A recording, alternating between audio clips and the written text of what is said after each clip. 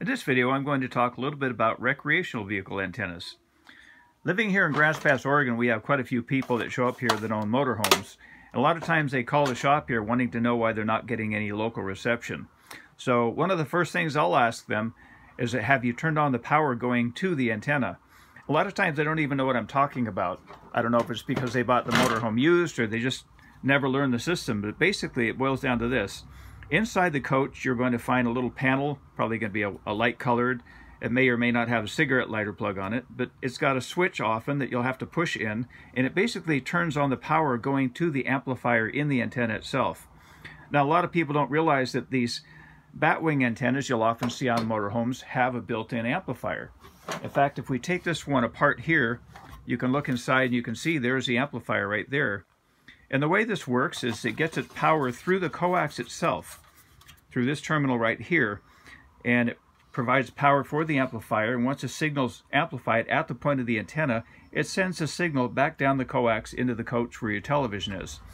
So if you're troubleshooting one of these, what you'll want to start out by doing first is measuring the voltage going to this point right here. So you'll go ahead and unscrew your coax, and inside of your coax, you'll see the center terminal here and the shielding. And basically you're going to put your meter on the volt scale DC voltage. You're going to measure between the outer shielding and the center pin here. And you should measure between 12 and 19 volts. If you don't, you got to figure out why. Uh, sometimes you may have bad coax or maybe it's too corroded. It can be for a variety of different reasons. Now they've come up with a lot of upgrades since they came out with this original antenna here.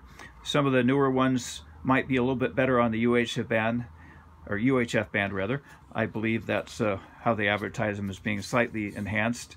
And also as far as the replacement goes, it's fairly straightforward. You might notice that your new antenna has a slightly different design, but I've yet to encounter one that didn't fit on the existing mast that was on top of the motorhome.